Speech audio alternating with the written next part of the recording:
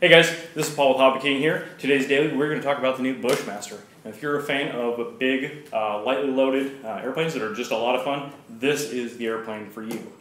It is powered by a four-cell, uh, 2200 milliamp battery, which you will have to provide yourself. And with the large amount of wing area, this airplane slows down quite nicely.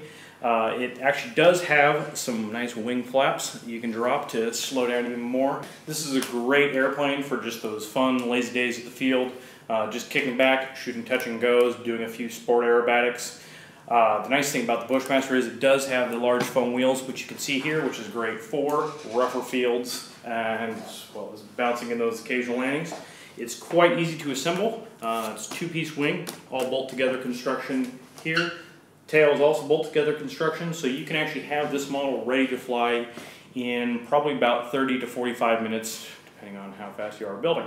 Um, the battery that I mentioned earlier is four cells and is accessed through this nice little hatch here, magnetically secured, so it's real quick and easy to access your packs. Uh, 40 amp speed controller, and it is a 3620 750 kV brushless motor.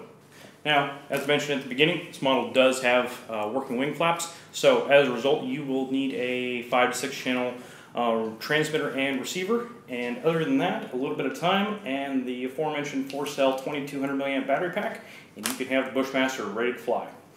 Now, the last important bits are the dimensions of this airplane. It has a 1550 millimeter wingspan, is 1120 millimeters long, 1800 grams all up, and quick recap, you need a 4-cell 2200 milliamp battery pack, as well as a 5 to 6 channel radio, and a little bit of time, and you can have the Bushmaster in the air.